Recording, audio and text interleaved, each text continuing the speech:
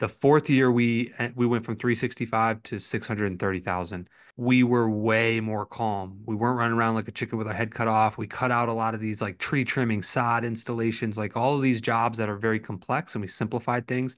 And then we opened our second location last year. So gotcha. How many would you say what's like a percentage of employees that retain or come back in the springtime after? What would you say was your biggest hurdle um, in growing this first location there? If I had what I had today, like I could I could build it twice as fast. And so how do we portray that through your flyer to show them that you're dealing with a professional, not an amateur? What would you say is one of your biggest uh, challenges you face today running the uh, first location? At what point of your business were you uh, having to step down from kind of doing most of the field work and um, just doing it occasionally, I guess? In my mind, I needed to be like, okay, I, I, I am more valuable than being the one pushing the mower.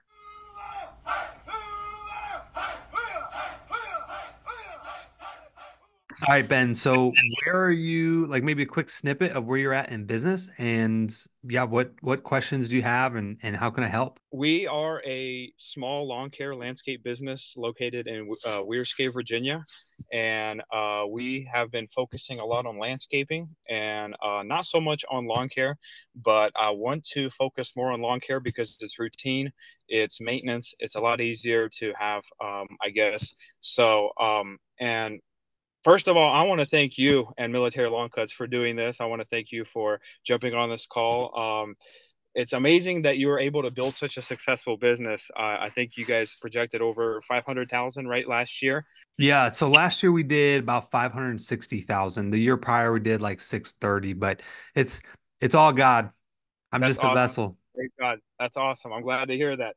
Now it's so cool that you guys were able to do that and um, I love that you guys have these core values being faith based, and uh, we're the same way. We we we like to uh, we take great pride in that. So um, I, and really, your videos, the content you produce, it's so valuable.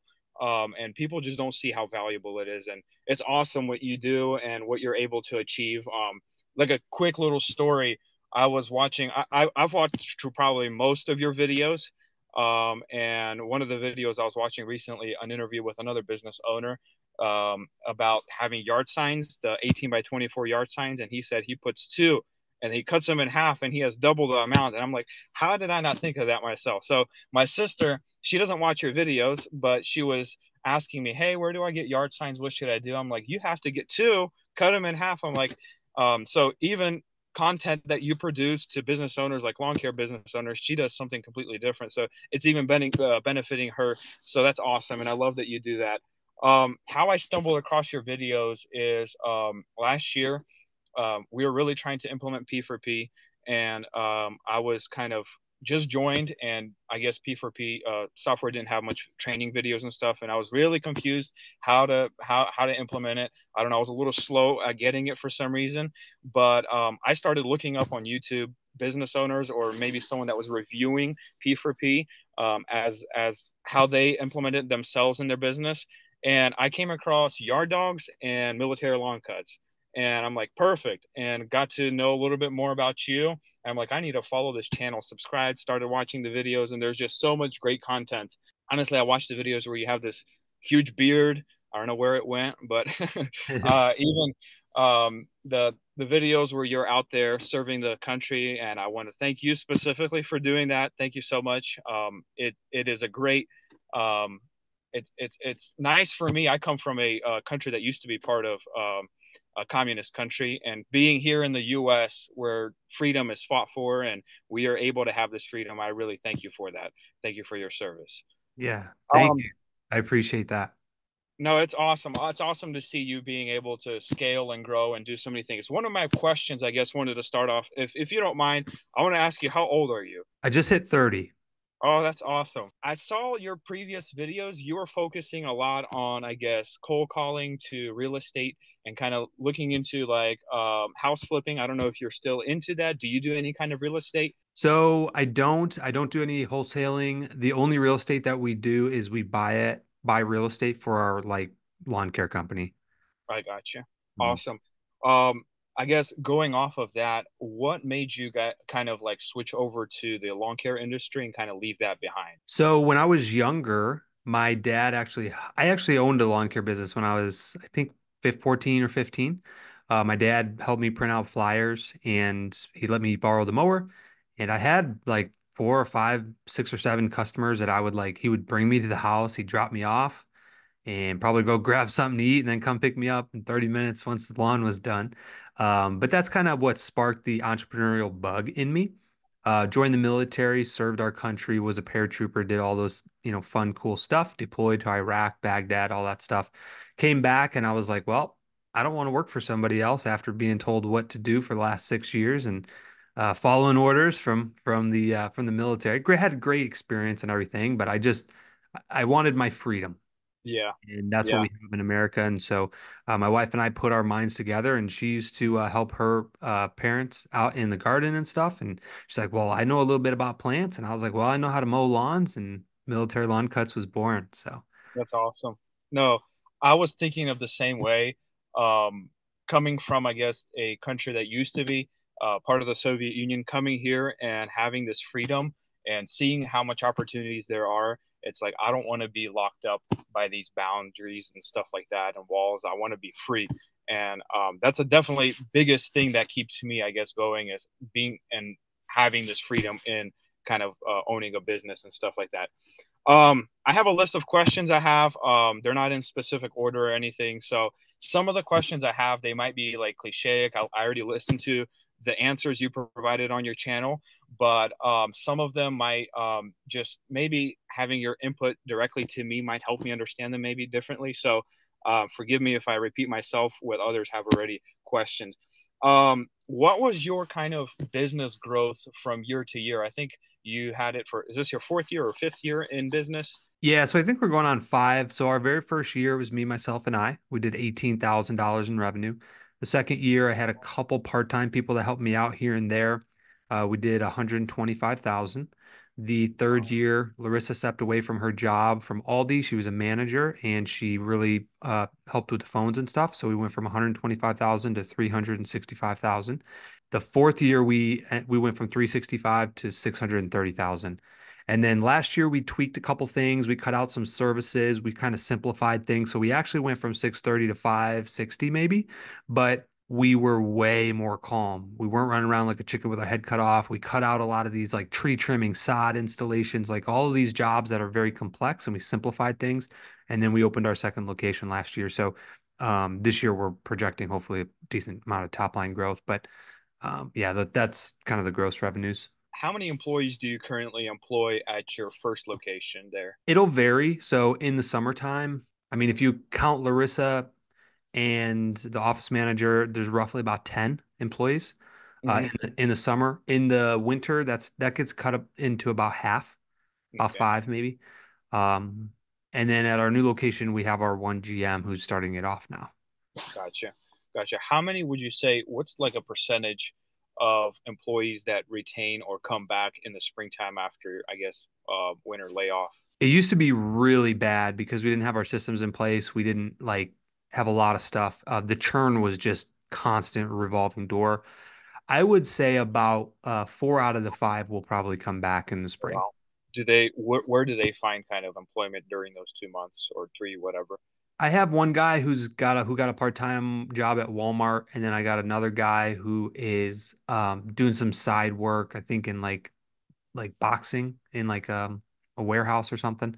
But they they both like prioritize military lawn cuts because with P for P they can make 28, 25 bucks an hour. So like these warehouse jobs aren't paying that. So they know like once the spring rush hits, like they're probably they're gonna get rid of the probably part-time and focus fully at at military lawn cuts. Um, what would you say was your biggest hurdle um, in growing this first location there, or maybe several hurdles you had to jump over? That's a good question. I think my biggest hurdle that comes to mind at the forefront of my mind is myself. It's amazing mentally, if you believe you can do something, you'll be able to accomplish it. And just not having enough, maybe confidence, um, authority, direction, um, leadership. If I had what I had today, like I could I could build it twice as fast, right? But like when you're first starting out, like you don't have the confidence yet. You don't Mhm. know that the EDM and the flyers and like hiring system works. Like, you know, and you got to go through the reps to kind of, you know, learn and take a few bumps and bruises to to get through it. Um, Yeah. yeah, I'd say it's more of a mental game, to be honest. Yeah, I, I see it. Another question I have is um, with marketing, uh, specifically like door hangers, uh, flyers, EDDM, and stuff like that. How do you guys, as military lawn cuts, set yourselves apart from other people? Is there specific wording or specific kind of design you guys use on your flyers? Um, it just seems like everyone over there is just so generic. Everyone's just copying each other. How do you guys set yourself apart on that? Yeah, the it's a really good question actually. So you want to portray professionalism, reliability, like how like the biggest pain point that we get from customers is my guy didn't show up. And so how do we portray that through your flyer to show them that you're dealing with a professional, not an amateur. We are a professional company. And the way that you do that um, obviously, you know, you may have a bullet point that says like professional, reliable, licensed, insured. Like those are kind of bullet points there. So this was our old flyer that I'll show you, and I'll just kind of talk while I'm holding it up. But as you can Yeah. see, like there's a professional photo of Larissa and I, the company, the company Mhm. So they know exactly who they're doing business with, right? People do Yeah. business with people they know, like, and trust. So get a Mhm. good smiling picture professionally, you know, throw it up there. And I'll another thing that's going to help us this year is we are doing a very, very bold guarantee. So, how do you make an offer to somebody that they feel silly saying no to? Right? If you like, if you have a customer that's on the fence and like they need the service, but they don't fully trust you yet, how do you create that type of guarantee, satisfaction guarantee that like no matter what, you can't lose. If you don't like the service, we'll come back out and we'll fix it. No questions asked. We'll we'll check with you to make sure it's right and we'll fix it. If still at that point you're still unhappy with the service, we will, you know, re refund you the money or pay a competitor of, you know, our choosing or whatever they're choosing, whatever, however you want to structure it to do it for you, right? Like making that type of bold statement will separate you from everybody else. And because you will stand behind your product so much. And I promise you, every lawn care company locally around is not training their team as good as us. They're they're not sitting down with them and preparing them for for the field as much as us, right? Like it's, you know, I, I'm confident in that because I talk to all of them and I know they're not doing it, you know. So like I'm just being really confident in the product. How do you portray that through the flyer so that way when they see it, they're like, wow, like let's let's let's give these guys a try. I'm smiling because a lot of this stuff I've heard from Florida Turf Pros as well, Jonathan, uh, or Chris. I forgot his name. I think it's Jonathan. Um, so he was also speaking about this uh, guarantee, which is awesome. So wanted to hear your input on this as well. Um, so that kind of reinforces that idea. Awesome. Um, what would you say is one of your biggest uh, challenges you face today running the uh, first location? Well, in the in the currently this moment we migrate over to Copilot, so there's a lot of bumps and bruises on that. Like that's probably the immediate, but that's not really that'll that'll pass in a in a few months anyway. The office and the admin side and systemizing like the office side. So last year we were very, very top heavy. We had about three non-producing revenue employees to basically at our peak would be nine, eight to nine field members. If you do the ratio on that, it's it's barely it's almost barely like like a little bit more than like a one to two or a one to three ratio. And so we would need to get that closer to like a one to four ratio to increase bottom line and things like that. But the problem is, is like what we're doing in the office is not the most efficient way. There's there we're we're doing stuff in the office that like we need to just either A cut out or B systemize it or C create an automation around it so that way we don't have to do it. And so like in the field, we've made it very efficient. We know where to start, all this stuff. In the office side, that's not what I'm working on now. And I'll actually be sitting in on a ton of calls in the springtime. So I'm really going to be like deep, deep diving that. But that's our biggest hurdle right now. Um, and your wife is kind of taking charge o- over the first location now. Is that right? Yeah. So she's going to be the main location GM. Um, and then Okay. yeah, we'll we'll support her like as a regional manager, or I will. How much time does your wife, um, or as the general manager, spend on a weekly basis, kind of at that location there? It fluctuates. Obviously, you know, she's there present Monday through Friday. In the wintertime, um, again, we're kind of in this weird transition. We don't have in we had internet, but like we're not up there Monday through Friday like eight, nine hours a day right now. It's probably it's more like maybe half days. Uh, we But work from home the other half day, uh, other half days. Uh, but yeah, in the spring, I mean, it's not uncommon to have a 10 hour days, um, you know, consistently. That makes sense.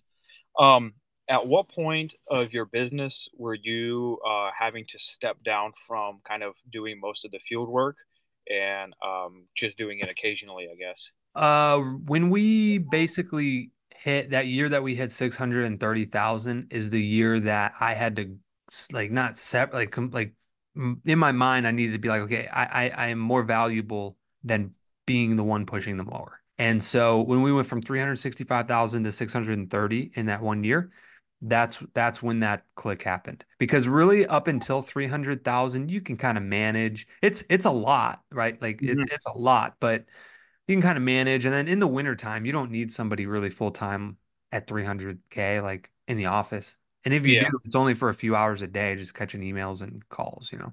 Do you guys run one or two or maybe multiple people crews or and why would you say maybe keeping one or two man crew is beneficial? Is there more efficiency uh, keeping it as one? I think I personally think keeping it as a one man crew is more efficient, but wanted to hear what you you have to say on that. Yeah, there's pros and cons to everything on that. So in the springtime and summer, we're definitely running two man teams. There's just high demand. We need to put butts in both seats and and really crank out the revenue that each truck can pull in. Okay. In the winter time, when we go down to like half of our crew anyway, uh, we do run solo uh, routes, and that's where like P for P, oh my goodness, it's insane. When you're for like from one man to two man, they make so much more money. The guys love it running. As one? They don't have to worry about anybody else. They don't have to worry about the other guy showing up late. They don't have to worry about the other guy dragging their feet. It's like it's solely on them, and they Yeah. they like it a lot. Now, like I would do kind of a hybrid schedule if I were you, because uh, you just don't want like trucks sitting in the lot. And if you get a truck for every person in the in the summer, well, well come winter time, you're gonna have like three or four trucks just sitting there. Yeah. You know, so like you're also paying insurance on that. You know, it, it costs money. And so there there's a there's a give and take where you want to fully utilize your assets and trucks that you have, but you also want to get, have the guys make good P for P. And typically the guys that are showing up consistently well, those are the guys that will normally let run solo because they're they deserve it, you know. That makes sense. Yeah. With the new location you guys have opened up, um, what was your last year's revenue? What are you kind of projecting for this year? And kind of what are you doing to accomplish that goal? Kind of what are the steps you're taking? Last year, uh, I basically started it like mid summer and I was really running the first location. I didn't have a lot of time and energy. I was just I literally was building the company on one day a week, which was Wednesday. So it revenue very, very low. Um, I think we we ended up doing like eight a little over eight thousand last year annual. Now, with that said, going into this season, we do have 15 recurring customers right now. We're just Wow. getting off the ground. And this is like great for people that are watching too, because I'm we're literally doing it right now. So like all these little beginning things, like I'm able to like reteach it because I'm going through it versus like already being at like 600,000. It's like, well, we're not really dealing with all the struggles. Well, I Yeah. am, right? Yeah. Um, Exactly. so this year we're projecting 125,000. That's that's our GM's goal. Awesome. Um, what we're going to do is send out a ton of EDDM flyers for all the brand new neighborhoods locally in his area. Um, and then we're also going to do door hangers. So we're going to hire, so we just bought a truck for him. Uh, we're getting that all situated. And then we're going to hire two guys in the spring to literally fully all day just hand out door hanger flyers. We're going to try to pump out 15 to 20,000 flyers at, at a 1% return because I'm going to be running it conservatively. I think that'll get us to where we need to be. Uh, would those employees that you guys hire to hand out those flyers, would those be also the employees to run the business, kind of the field workers there? Yeah, absolutely. So we're going to overhire in the spring, uh, with two guys. They can take their personal vehicle out there, park it, do their door hangers for hours, you know, four four to six hours a day. And then as the calls come in, as the work comes in, they may they may do flyers two days a week and then work three days a week. And then like as more workload comes in, they'll just start to shift over to like doing more of the work. Over here in kind of the we live in the Shenandoah Valley. There's a lot of hills, a lot of slopes. Just about every property we service here has a ditch, has a slope, um, so we use a lot of zero turn mowers, stuff like that. No one really out here is pushing push mowing anything here. I don't know if you had any experience with training anyone on zero turn mowers or anything like that. Maybe you have an idea or suggestion on how uh, kind of a training plan would go with someone learning to use a zero turn mower, stuff like that. How would a training kind of plan? Typically, how we have it now is one week they're learning weed eating. Next week they are on the zero turn the third week, we're switching off. Um, if it's a two man crew, they're switching off. One, one house, they're doing the zero turn. The next house, he's doing the weed eater, and then vice versa. Uh, but maybe there's a faster, more efficient way to train. Um, any input on that? Um, when do they do edging and blowing? Well, we have them kind of doing that throughout the two weeks. That's not kind of a separate kind of training. We really focus on weed eating and um, um, uh, zero turn. Edging, we don't typically use an edger, so we use the weed eater as an edger for most of our lawns. Uh, blowing, that's just whoever gets to it first. Um, Got it. They Got it. blowing. Okay. Um. Yeah. So I think you have the way you have it structured is good. So like they're doing the bigger equipment at the end. Mm-hmm. Um. I would recommend that too. Obviously, you don't want to bore them, but if you can Yeah. create some type of like I'm gonna call it TikTok version or YouTube Mhm. short, like a Mhm. 45 second. Hey, these are all the when you're when you're on the mower, do this, don't do this, do this, don't do this. Really, really quick and exciting, and you know, and have that be like, hey, guy, hey, you're gonna watch this 45 second video before you even jump up there. The other thing that I would do, okay, so when you actually have them out in the field, there's th- this is how we train people. There's basically a three step process. So number one is like I'm gonna do you watch, Mhm. um, and maybe that's just like the front yard. Like real Mhm. quick, you're gonna watch me for three to five minutes. Like just you're gonna watch exactly how I do it. You're gonna Mhm. see what right looks like. Number two, um, you're gonna jump up and I'm gonna watch you and I'm gonna coach you. So you may do a stripe or two, and where I'm gonna say stop, jump off. Hey, I saw you do this. You're creating a rut when you turn, right? And, and you're very active, hands-on of coaching for Mhm. that first five to 10, 15 minutes, right? And then after that, um, once you, once you feel confident in their ability, they've done a few, then they do, and then you double, and then you go back and check. You don't stand there and watch them the whole time. Um, and that's kind of like the three-step process that we use for really anything. Um, I'd say for training, maybe instead of like, I don't know if you do commercial properties, but instead of having them test out the zero turn on day one, like on a residential lawn, maybe maybe put them in a re- uh, commercial one. Maybe you have a, a field by your house that you want to do some, I don't know, like real quick. Hey, for 10 minutes, we're just, I'm going to show you how to, like, you're going to do a couple stripes here to get under control. Cause you're right. When you're turning stuff and you get close to objects, you don't want to slam it into a house or something, you know? Um, do you in your business uh, use credit cards for uh, like you personally when you need to buy things and stuff like? Do you use a credit card or debit card? So we do both.